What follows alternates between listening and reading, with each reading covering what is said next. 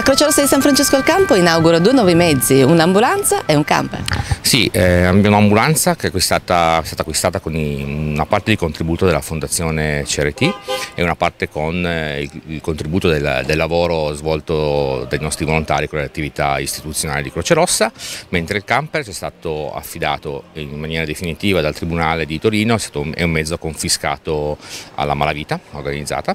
e, e quindi un, per noi è un onore avere questo mezzo e, e poterlo utilizzare e renderlo di nuovo disponibile alla cittadinanza. Sarà un mezzo che utilizzeremo per l'attività sociale, quindi come ambulatorio mobile, ci porteremo direttamente nelle piazze a fare attività di prevenzione, quindi come mh, misurazione di glicemia, pressione, queste cose qua, e poi essere anche attrezzato come utilizzato come ufficio mobile in caso di necessità di emergenza, di calamità, quindi come ufficio logistico per coordinare attività di emergenza. Lei è il nuovo presidente della Croce Rossa di San Francesco al Campo? Sì, sono il nuovo reggente eh, fino alle prossime elezioni che ci saranno tra qualche mese, dopodiché poi se i volontari saranno d'accordo continuerò il mio operato. E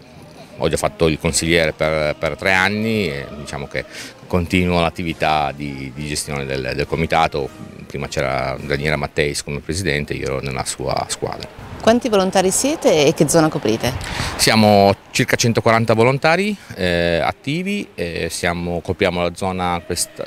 che è tra eh, il, le, il, Ciriacese e il Canavese, quindi siamo proprio a metà, quindi siamo anche in una posizione un po' eh, di fulcro e quindi strategica per quanto riguarda l'attività di 118, ma anche per altri tipi di attività a livello di emergenza, di trasporti.